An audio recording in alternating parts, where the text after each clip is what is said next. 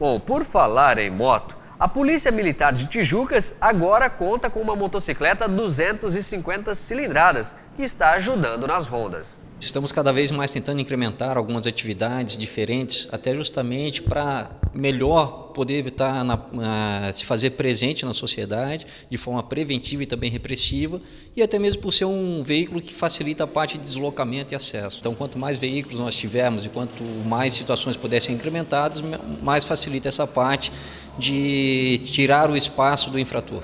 Que tipo de ações da Polícia Militar que essa moto será usada? Tanto na parte da prevenção, né, ações de atendimento de ocorrência, policiamento extensivo, como na parte também de trânsito, na fiscalização e atendimento ao cidadão. Desde quando essa moto está aqui e tem previsão para novas motocicletas ou até mesmo veículos virem para Tijucas?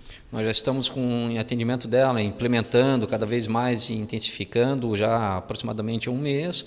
É, por enquanto, de previsões de mais veículos, ainda estamos em estudos para verificação, porque não, não basta apenas ter a, a parte do equipamento, é preciso conseguir colocá-lo em prática. Então, estamos cada vez mais buscando medidas que tornem isso possível.